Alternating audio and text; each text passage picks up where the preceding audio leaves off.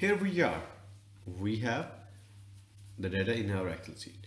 Because of the bookmark thing instead of the eight records we are getting three records and we have the header. So let's just run it for the sake of clarity. If I run that without the bookmark thing you see I have all the eight records so that's great. Now have we have the next target. That was the email thing. So let's just get started with the email.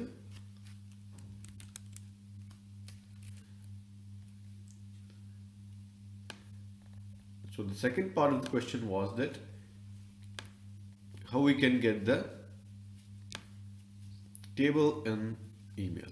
So if we do that this table we have to push HTML and let's get see the problem first what's the exact problem and then we can come to the solution part of it. So I'm gonna do is I'm gonna select this HTML and I'm going to write a test and the body is going to be the straight table. And let's get the straight table. If I test run it and go to the history so I can see the output message that is sent so let me expand the message if I can. Okay the message is sent. That's it.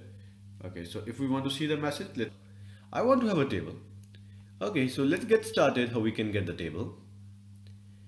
So what I'm gonna do is I'm gonna introduce the most powerful block. That is a variable. You can do wonders with that. Okay so let's I have created a variable named as table data. So if you want to create it you can just go here and create a variable. So and then the operation I'm going to add is append the table. So what's going to do? Uh, why am I appending? So every loop it's going to add a new value.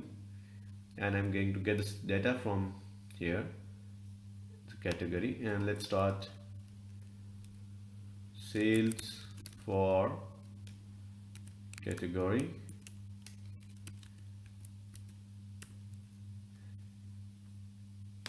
Is now let's get the second component. Sales amount. Yeah. and as we are using HTML so let's we have to use this HTML tag. If you don't know these tags that's very easy. You can just google it. This is a line break tag so you can use that. And there if you uh, if you want to do a formatting of your data even you can create HTML table. So you can use uh, this variable is essentially our HTML text of the values that we're going to get. And you can have that multi uh, whatever string that you want. There is no limitation on the string size as of now. And then we're going to call this variable. Let's just run it and then we're going to call this variable here instead of the straight table.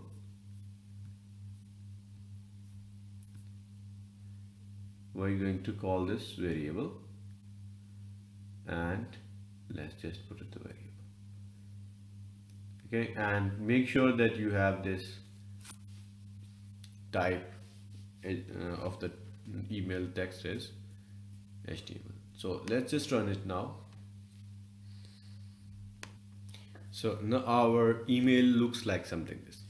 Yes if you can argue that this is not the exact table but uh, if you know a little bit of HTML uh, that I myself don't know very much but you can I'm pretty sure I have seen uh, that you can build tables in HTML and using this information. So uh, you can work on it and have some nice output.